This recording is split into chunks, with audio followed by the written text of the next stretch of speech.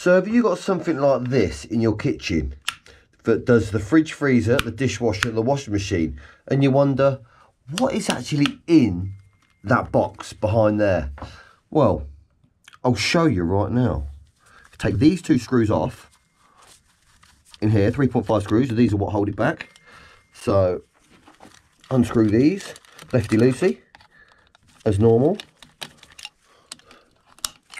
And then in here, what we have is the ring main, which is live and neutral coming in, live and neutral coming out, and it loops the neutral and the live to the top of each of these switches.